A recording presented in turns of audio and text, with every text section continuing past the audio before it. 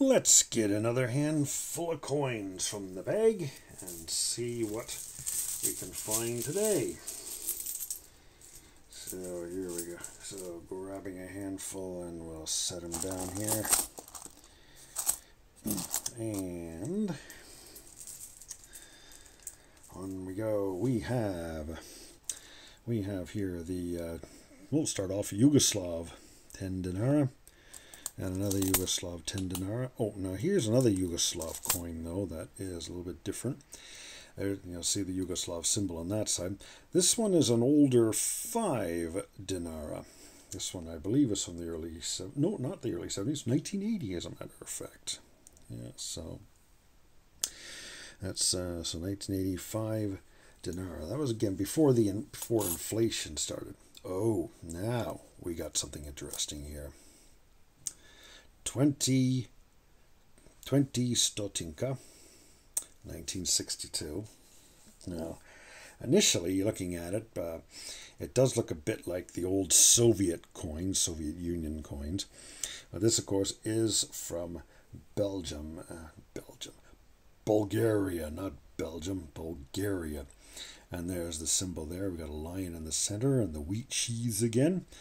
And a crown at the there's a crown at the top of the wreath. Um, wheat cheese to be a popular theme on the on the communist symbols. I guess that's uh, one of the symbols of prosperity, of course. On we go here. So we got a Belgian uh, Belgian one franc, and we have an Italian twenty lira. Yeah, and that's from 1957. And we have a This is a, yeah, this is Belgian as well. This is a Belgian franc. And British one penny, and another British one penny, and oh, Spanish five peseta. Whoops, upside down, slightly oxidized, strange toning on it. And oh, yep, Francisco Franco, of course, on here. Then we have some, I'll pull out some more of the Yugoslav coins.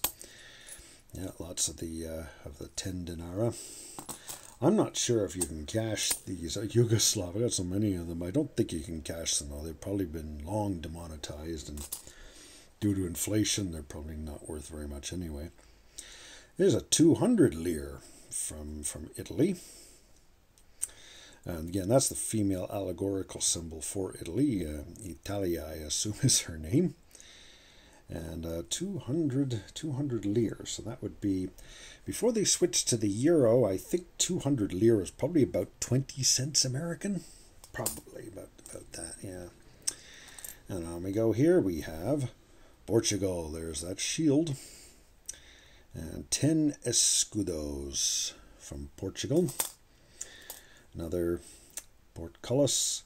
This one's got a bit of strange staining on it. And uh, British 2p and another British 2p. And here's an, oh, and here's one, of course, with the shield section on here. I believe that, I think that's part of the Scottish, the Scottish section of the shield. I think that's a Scottish line. I could be wrong on that, but I believe that's what that is. And we got another 2p here. And lots of the uh, the one of the 1p again. Section of shield and the uh, and, and the portcullis. Now on the 1p we got uh, part of the shield here shows the harp which symbolizes Northern Ireland, which of course is part of the United Kingdom.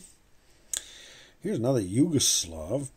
This one is, I believe, 50 para, so half, half a dinara, or 50 para. And uh, it is, is there a date on it somewhere? Can't find it here. But, uh, well, can't seem to find. Oh, wait a minute. There's the date there. Yeah, 19, 1978 is the date on that one. The uh, you Yugoslav 50 para. And we got another uh, Bulgarian one. Uh, this one is a 5 Stotinka from 1974. That one's got a little bit of mint luster on it too, uh, so that's kind of nice. And we got a couple of Belgian francs. And some more British. There's a British British penny and another another British penny and another British uh, penny. Now, what we have here, this is, oh, this is a Turkish one. So this one says 100 lira is the value on that. So just starting the uh, hyperinflation. So 100, 100 lira coin. And we got the uh, British, another British penny with the portcullis. We got a Spanish one, one peseta, and a Spanish, Spanish 25 peseta. And on we go here. We got another British two penny.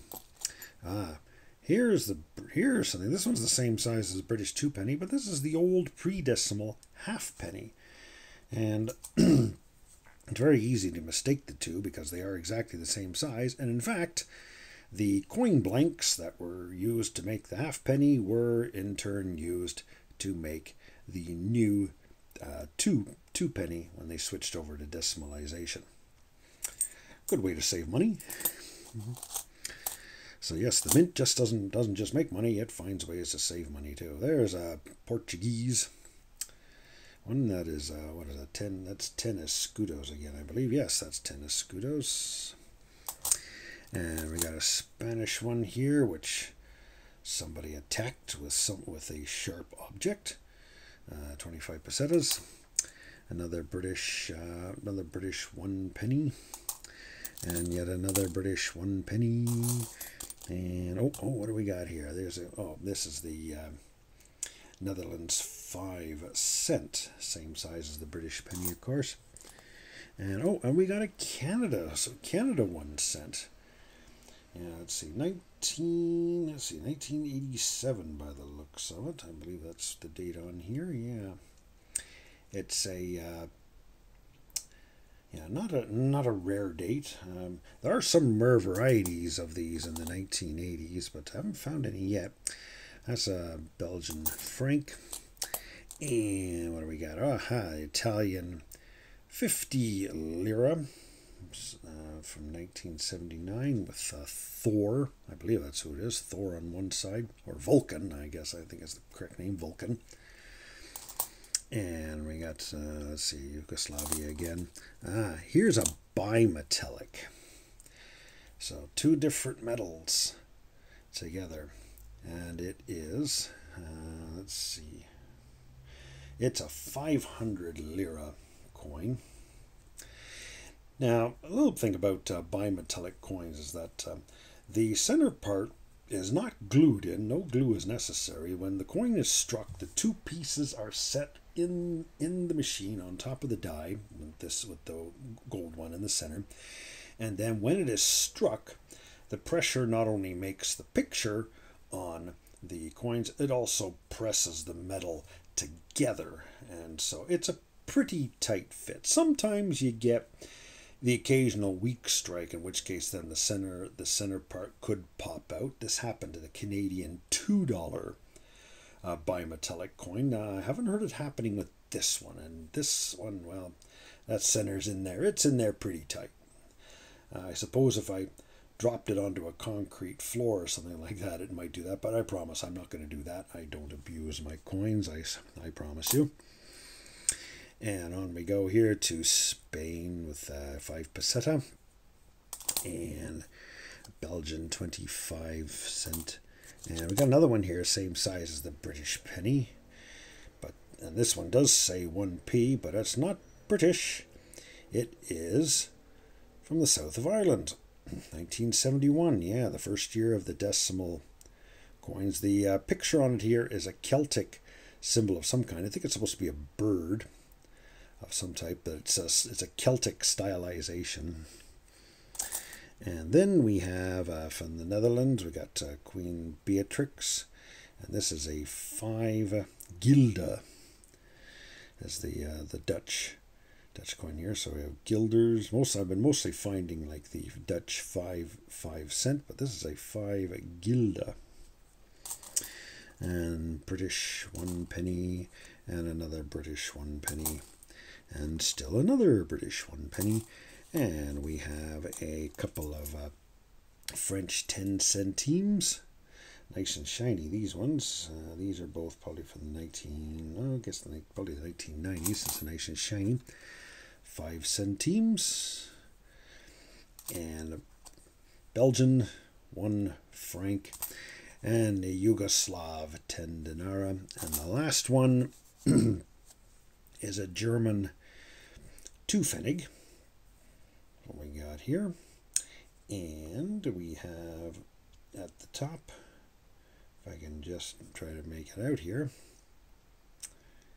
See, it's nope. Gonna have to grab the scope again. One moment. I'll just check with the scope, and it is uh, it's an F. It's also an F. So another Stuttgart one.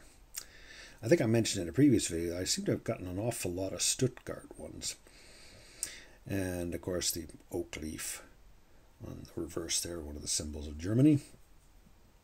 And so that's another another handful of, co of coins checked out. And I thank everybody for watching.